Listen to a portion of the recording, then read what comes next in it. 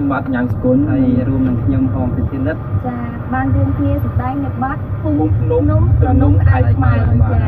ហើយដែលយើងទាំង3នាក់នេះបានមករួមគ្នាថតនេះគឺនៅក្នុងភូមិបាត់ប៉ោចសំរោងបាទហើយឃុំតពូ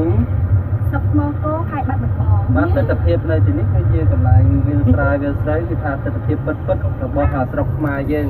បើអស់លោកលោកស្រីអ្នកនាងបានទស្សនាប្រកាសជាយល់ឃើញថាពិតជាទេសភាពរបស់ខ្មែរយើងពិតពិតហើយ